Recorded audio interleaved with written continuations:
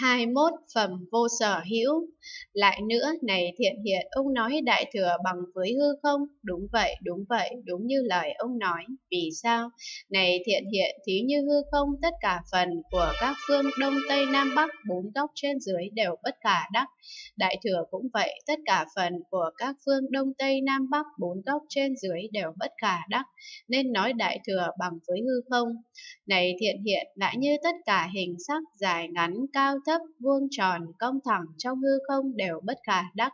Đại thừa cũng vậy, tất cả hình sắc, dài, ngắn, cao thấp, vuông tròn, cong thẳng đều bất khả đắc nên nói đại thừa bằng với hư không. Này thiện hiện lại như các màu sắc xanh vàng đỏ trắng hồng tía bích lục trắng xanh vân vân trong hư không đều bất khả đắc.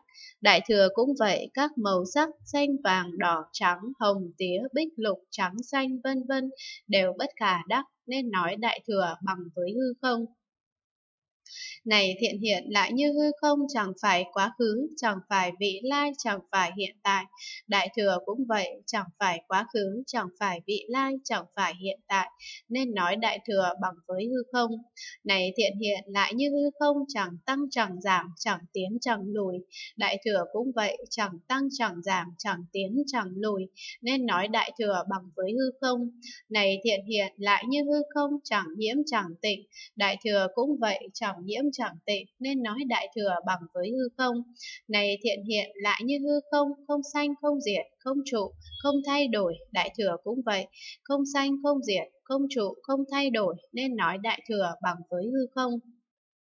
Này thiện hiện lại như hư không, chẳng phải thiện, chẳng phải không thiện, chẳng phải hữu ký, chẳng phải vô ký.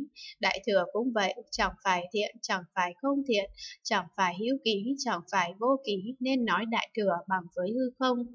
Này thiện hiện lại như hư không, không thấy, không nghe, không hiểu, không biết.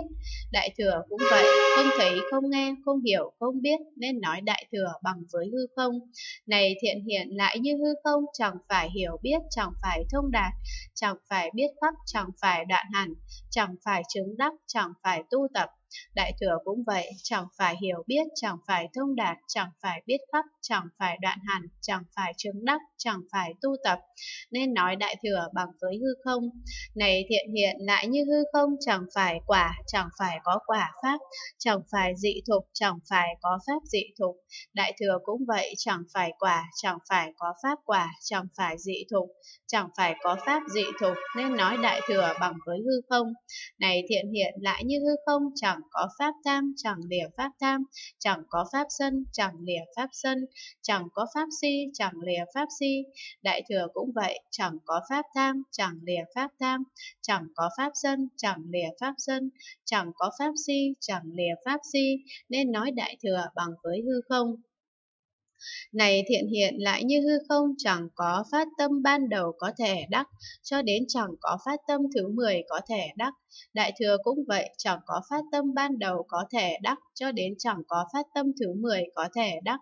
Nên nói đại thừa bằng với hư không. Này thiện hiện lại như hư không chẳng có tịnh quán địa, trùng tánh địa, đệ bát địa, cụ kiến địa, bạc địa, ly dục địa, dĩ biện địa, độc giác địa, Bồ Tát địa, như lai địa có thể đắc Đại thừa cũng vậy, chẳng có tịnh quán địa cho đến như lai địa có thể đắc, nên nói đại thừa bằng với hư không. Này thiện hiện lại như hư không chẳng rơi vào dục giới, chẳng rơi vào sắc giới, chẳng rơi vào vô sắc giới, đại thừa cũng vậy, chẳng rơi vào dục giới, chẳng rơi vào sắc giới, chẳng rơi vào vô sắc giới, nên nói đại thừa bằng với hư không. Này thiện hiện lại như hư không chẳng có hướng dự lưu quả dự lưu, hướng nhất lai quả nhất lai, hướng bất hoàn quả bất hoàn, hướng A-la-hán quả A-la-hán, hướng độc giác quả độc giác, Bồ Tát Như Lai có thể đắc Đại thừa cũng vậy, chẳng có hướng dự lưu cho đến như lai có thể đắc, nên nói đại thừa bằng với hư không. Này thiện hiện, lại như hư không chẳng có địa thanh văn, địa độc giác, địa Bồ Tát, địa như lai có thể đắc. Đại thừa cũng vậy, chẳng có địa thanh văn, địa độc giác, địa như lai có thể đắc nên nói đại thừa bằng với hư không. Này thiện hiện lại như hư không chẳng phải hữu sắc, chẳng phải vô sắc, chẳng phải hữu kiến, chẳng phải vô kiến, chẳng phải hữu đối, chẳng phải vô đối, chẳng phải tương ưng, chẳng phải không tương ưng. Đại thừa cũng vậy, chẳng phải hữu sắc, chẳng phải vô sắc, chẳng phải hữu kiến, chẳng phải vô kiến, chẳng phải hữu đối, chẳng phải vô đối, chẳng phải tương ưng, chẳng phải không tương ưng, nên nói đại thừa bằng với hư không. Này thiện hiện lại như hư không chẳng phải thường, chẳng phải vô thường, chẳng phải lạc, chẳng phải khổ, chẳng phải ngã, chẳng phải vô ngã, chẳng phải tịnh, chẳng phải bất tịnh.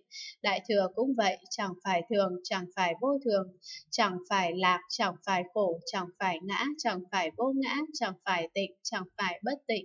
Nên nói đại thừa bằng với hư không.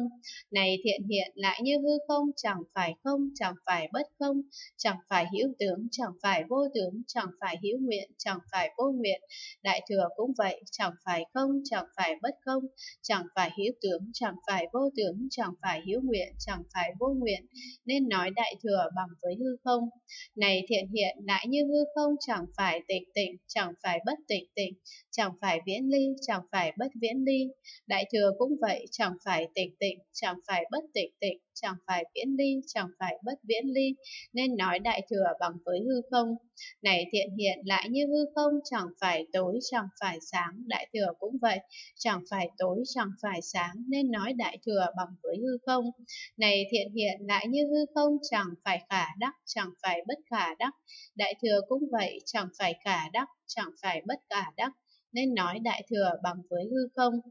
Này thiện hiện lại như hư không, chẳng phải uẩn giới xứ, chẳng phải lìa uẩn giới xứ, đại thừa cũng vậy, chẳng phải uẩn giới xứ, chẳng phải lìa uẩn giới xứ, nên nói đại thừa bằng với hư không. Này thiện hiện lại như hư không, chẳng phải có thể nói, chẳng phải không thể nói, Đại thừa cũng vậy, chẳng phải có thể nói, chẳng phải không thể nói, nên nói đại thừa bằng với hư không. Này thiện hiện do các nhân duyên như vậy, nên nói đại thừa bằng với hư không. Lại nữa, này thiện hiện, ông nói giống như hư không, có khả năng dung nạp các vô lượng vô số vô biên hữu tình. Đại thừa cũng vậy, có khả năng dung nạp các vô lượng vô số vô biên hữu tình. Đúng vậy, đúng vậy, đúng như lời ông nói. Vì sao? Này thiện hiện vì hữu tình vô sở hữu nên biết hư không cũng vô sở hữu, hư không vô sở hữu nên biết đại thừa cũng vô sở hữu. Do nhân duyên này nên nói đại thừa có khả năng dung nạp khắp vô lượng vô số vô biên hữu tình. Vì sao? Này thiện hiện vì hữu tình hoặc hư không hoặc đại thừa như vậy tất cả đều là vô sở hữu bất khả đắc. Lại nữa, này thiện hiện hữu tình vô lượng vô số vô biên, nên biết hư không cũng vô lượng vô số vô biên. Hư không vô lượng vô số vô biên, nên biết đại thừa cũng vô lượng vô số vô biên. Do nhân duyên này nên nói đại thừa có khả năng dung nạp khắp vô lượng vô số vô biên hữu tình. Vì sao? Này thiện hiện, vì hữu tình vô lượng, vô số vô biên, hoặc hư không vô lượng, vô số vô biên, hoặc đại thừa vô lượng, vô số vô biên, như vậy tất cả đều vô sở hữu bất khả đắc. Lại nữa, này thiện hiện, hữu tình vô sở hữu nên biết hư không cũng vô sở hữu. Hư không vô sở hữu nên biết đại thừa cũng vô sở hữu. Đại thừa vô sở hữu nên biết vô lượng cũng vô sở hữu. Vô lượng vô sở hữu nên biết vô số cũng vô sở hữu vô số vô sở hữu nên biết vô biên cũng vô sở hữu vô biên vô sở hữu nên biết tất cả pháp cũng vô sở hữu Do nhân duyên này nên nói Đại Thừa có khả năng dung nạp khắp vô lượng vô số vô biên hữu tình. Vì sao? Này thiện hiện, vì hữu tình hoặc hư không hoặc Đại Thừa hoặc vô lượng vô số hoặc vô biên hoặc tất cả Pháp như vậy tất cả đều vô sở hữu bất khả đắc vậy. Lại nữa, này thiện hiện ngã vô sở hữu nên biết hữu tình cũng vô sở hữu, hữu tình vô sở hữu nên biết mạng sống cũng vô sở hữu, mạng sống vô sở hữu nên biết sự sống cũng vô sở hữu, sự sống vô sở hữu nên biết sự nuôi dưỡng cũng vô sở hữu, sự nuôi dưỡng vô sở hữu nên biết sĩ phu cũng vô sở hữu, sĩ phu vô sở hữu nên biết bộ đặc già la cũng vô sở hữu, bộ đặc già la vô sở hữu nên biết ý sanh cũng vô sở hữu, ý sanh danh vô sở hữu nên biết đồng tử cũng vô sở hữu. Đồng tử vô sở hữu nên biết người làm cũng vô sở hữu. Người làm vô sở hữu nên biết người thọ nhận cũng vô sở hữu. Người thọ nhận vô sở hữu nên biết người biết cũng vô sở hữu. Người biết vô sở hữu nên biết người thấy cũng vô sở hữu. Người thấy vô sở hữu nên biết hư không cũng vô sở hữu. Hư không vô sở hữu nên biết đại thừa cũng vô sở hữu. Đại thừa vô sở hữu nên biết vô lượng cũng vô sở hữu. Vô lượng vô sở hữu nên biết vô số cũng vô sở hữu. Vô số vô sở hữu nên biết vô biên cũng vô sở hữu. Vô biên vô sở hữu nên biết tất cả pháp cũng vô sở hữu. Do nhân duyên này nên nói đại thừa có khả năng dung nạp khắp vô lượng vô số vô biên hữu tình. Vì sao? Này thiện hiện, vì ngã cho đến người thấy hoặc hư không hoặc đại thừa hoặc vô lượng hoặc vô số hoặc vô biên hoặc tất cả pháp. Như vậy tất cả đều vô sở hữu, bất khả đắc. Lại nữa, này thiện hiện, ngã cho đến người thấy vô sở hữu nên biết pháp giới cũng vô sở hữu. Pháp giới vô sở hữu nên biết hư không cũng vô sở hữu. Hư không vô sở hữu nên biết đại thừa cũng vô sở hữu. Đại thừa vô sở hữu nên biết vô lượng cũng vô sở hữu. Vô lượng vô sở hữu nên biết vô số cũng vô sở hữu. Vô số vô sở hữu nên biết vô biên cũng vô sở hữu vô biên vô sở hữu nên biết tất cả pháp cũng vô sở hữu. Do nhân duyên này nên nói đại thừa có khả năng dung nạp khắp vô lượng, vô số, vô biên hữu tình. Vì sao? Này thiện hiện, vì ngã cho đến người thấy hoặc pháp giới, hoặc hư không, hoặc đại thừa, hoặc vô lượng, hoặc vô số, hoặc vô biên, hoặc tất cả pháp. Như vậy tất cả đều vô sở hữu bất khả đắc. Lại nữa này thiện hiện ngã cho đến người thấy vô sở hữu nên biết chân như thật tế cảnh giới bất tư nghỉ, cảnh giới an ẩn vân vân lần lượt cũng vô sở hữu, chân như thật tế cảnh giới bất tư nghỉ, cảnh giới an ẩn vân vân vô sở hữu nên biết hư không cũng vô sở hữu, hư không vô sở hữu nên biết đại thừa cũng vô sở hữu, đại thừa vô sở hữu nên biết vô lượng cũng vô sở hữu, vô lượng vô sở hữu nên biết vô số cũng vô sở hữu, vô số vô sở hữu nên biết vô biên cũng vô sở hữu, vô biên vô sở hữu nên biết tất cả pháp cũng vô sở hữu. Do nhân duyên này nên nói đại thừa có khả năng dung nạp khắp vô lượng vô số vô biên hữu tình. Vì sao? Này thiện hiện vì ngã cho đến người thấy hoặc chân như thật tính, cảnh giới bất tư nghỉ, cảnh giới an ẩn, vân vân, hoặc hư không, hoặc đại thừa, hoặc vô lượng, hoặc vô số, hoặc vô biên, hoặc tất cả pháp. Như vậy tất cả đều vô sở hữu bất khả đắc. Lại nữa, này thiện hiện ngã cho đến người thấy vô sở hữu nên biết sắc cũng vô sở hữu, sắc vô sở hữu nên biết hư không cũng vô sở hữu, hư không vô sở hữu nên biết đại thừa cũng vô sở hữu, đại thừa vô sở hữu nên biết vô lượng cũng vô sở hữu, vô lượng vô sở hữu nên biết vô số cũng vô sở hữu, vô số vô sở hữu nên biết vô biên cũng vô sở hữu, vô biên vô sở hữu nên biết tất cả pháp cũng vô sở hữu. Do nhân duyên này nên nói đại thừa có khả năng dung nạp khắp vô lượng vô số vô biên hữu tình. Vì sao? Này thiện hiện, vì ngã cho đến người thấy hoặc sắc hoặc hư không hoặc đại thừa hoặc vô lượng hoặc vô số hoặc vô biên hoặc tất cả pháp. Như vậy tất cả đều vô sở hữu bất khả đắc. Lại nữa, này thiện hiện ngã cho đến người thấy vô sở hữu nên biết thọ tưởng hành thức lần lượt cũng vô sở hữu. Thọ tưởng hành thức vô sở hữu nên biết hư không cũng vô sở hữu. Hư không vô sở hữu nên biết đại thừa cũng vô sở hữu. Đại thừa vô sở hữu nên biết vô lượng cũng vô sở hữu. Vô lượng vô sở hữu nên biết vô số cũng vô sở hữu Vô số vô sở hữu nên biết vô biên cũng vô sở hữu, vô biên vô sở hữu nên biết tất cả pháp cũng vô sở hữu. Do nhân duyên này nên nói đại thừa có khả năng dung nạp khắp vô lượng vô số vô biên hữu tình. Vì sao? Này thiện hiện vì ngã cho đến người thấy hoặc thọ tưởng hành thức hoặc hư không hoặc đại thừa hoặc vô lượng hoặc vô số hoặc vô biên hoặc tất cả pháp.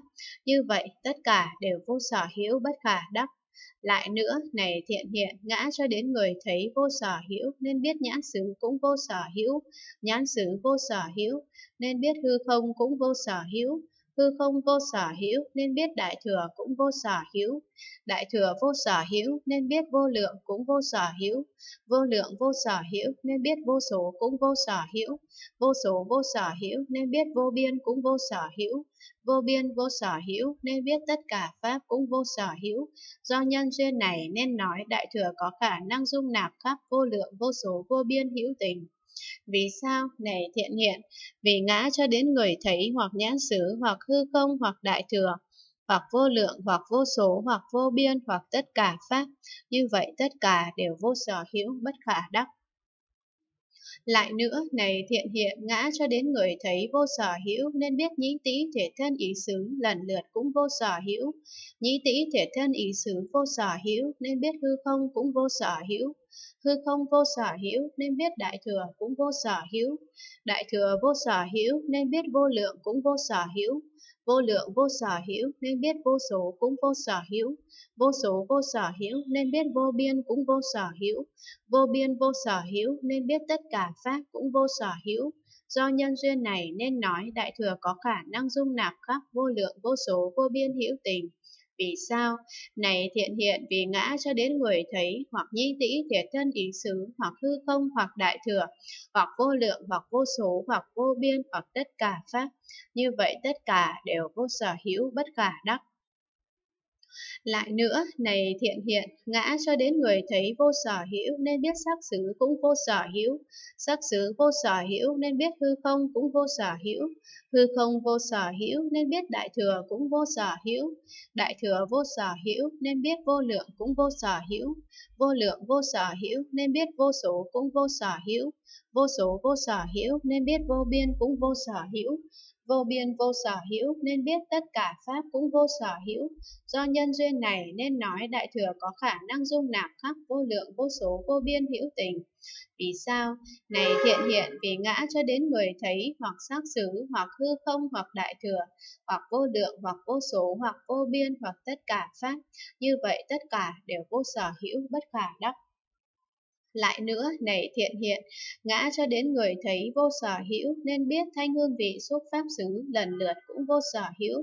Thanh hương vị xúc pháp xứ vô sở hữu nên biết hư không cũng vô sở hữu. Hư không vô sở hữu nên biết đại thừa cũng vô sở hữu. Đại thừa vô sở hữu nên biết vô lượng cũng vô sở hữu. Vô lượng vô sở hữu nên biết vô số cũng vô sở hữu. Vô số vô sở hữu nên biết vô biên cũng vô sở hữu. Vô biên vô sở hữu nên biết tất cả pháp cũng vô sở hữu. Do nhân duyên này nên nói đại thừa có khả năng dung nạp khắp vô lượng vô số vô biên hữu tình. Vì sao? Này thiện hiện vì ngã cho đến người thấy hoặc thanh hương vị xúc pháp xứ hoặc hư không, hoặc đại thừa hoặc vô lượng hoặc vô số hoặc vô biên hoặc tất cả pháp. Như vậy tất cả đều vô sở hữu bất khả đắc. Lại nữa, này thiện hiện, ngã cho đến người thấy vô sở hữu nên biết nhãn giới cũng vô sở hữu, nhãn giới vô sở hữu nên biết hư không cũng vô sở hữu, hư không vô sở hữu nên biết đại thừa cũng vô sở hữu, đại thừa vô sở hữu nên biết vô lượng cũng vô sở hữu, vô lượng vô sở hữu nên biết vô số cũng vô sở hữu, vô số vô sở hữu nên biết vô biên cũng vô sở hữu, vô biên vô sở hữu nên biết tất cả pháp cũng vô sở hữu. Do nhân duyên này nên nói đại thừa có khả năng dung nạp khắp vô lượng vô số vô biên hữu tình. Vì sao?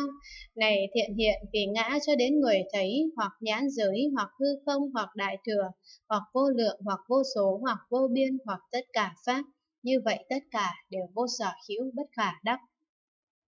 Lại nữa, này thiện hiện ngã cho đến người thấy vô sở hữu nên biết nhĩ tý thiệt thân ý giới lần lượt cũng vô sở hữu. Nhĩ tý thiệt thân ý giới vô sở hữu nên biết hư không cũng vô sở hữu. Hư không vô sở hữu nên biết đại thừa cũng vô sở hữu. Đại thừa vô sở hữu nên biết vô lượng cũng vô sở hữu.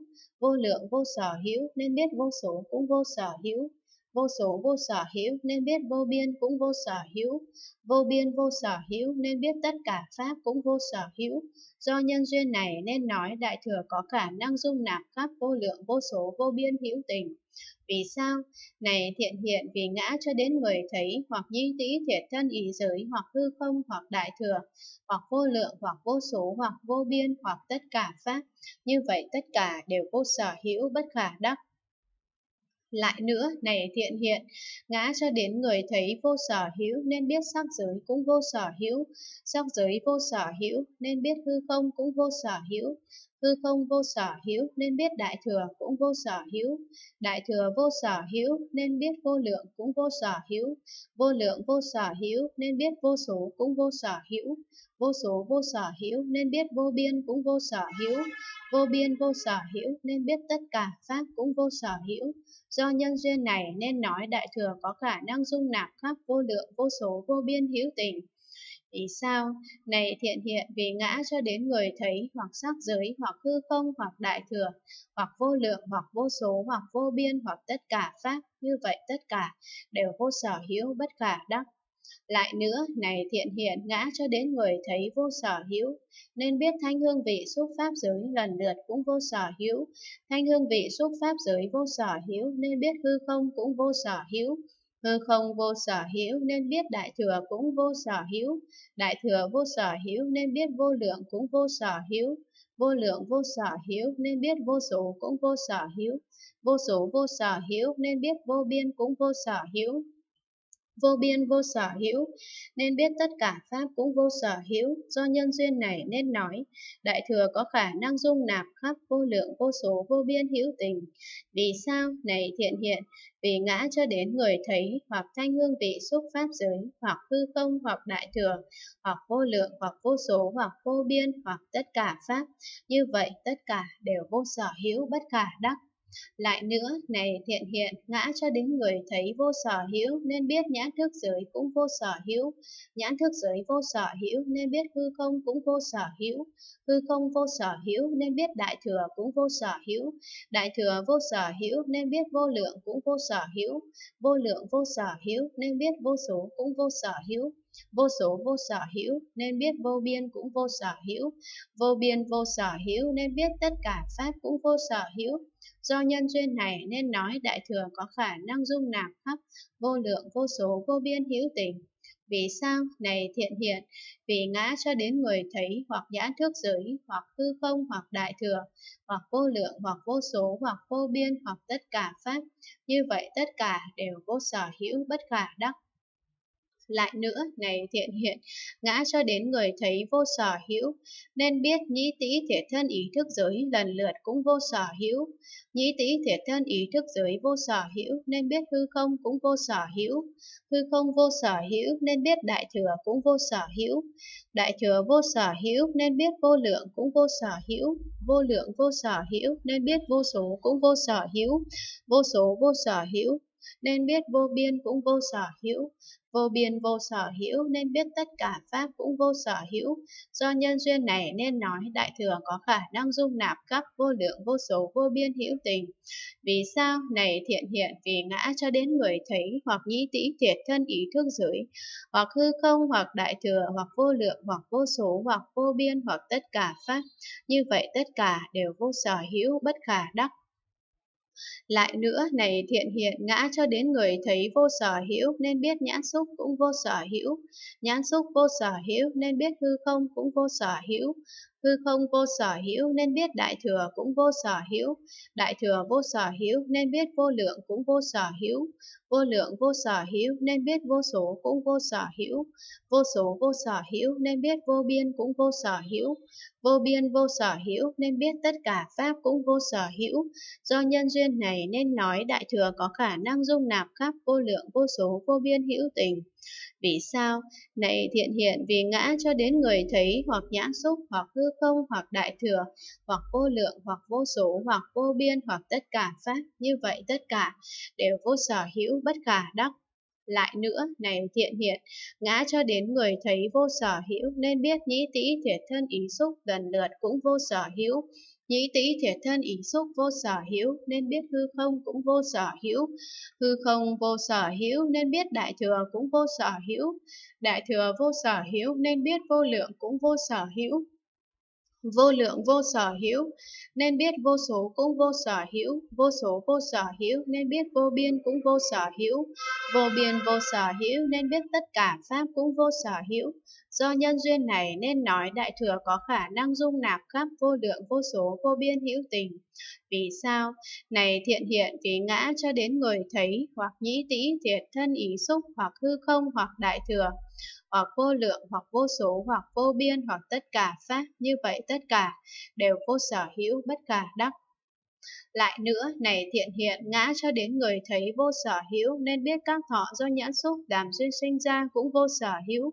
Các thọ do nhãn xúc làm duyên sinh ra vô sở hữu nên biết hư không cũng vô sở hữu hư không vô sở hữu nên biết đại thừa cũng vô sở hữu đại thừa vô sở hữu nên biết vô lượng cũng vô sở hữu vô lượng vô sở hữu nên biết vô số cũng vô sở hữu vô số vô sở hữu nên biết vô biên cũng vô sở hữu vô biên vô sở hữu nên biết tất cả pháp cũng vô sở hữu do nhân duyên này nên nói đại thừa có khả năng dung nạp các vô lượng vô số vô biên hữu tình vì sao?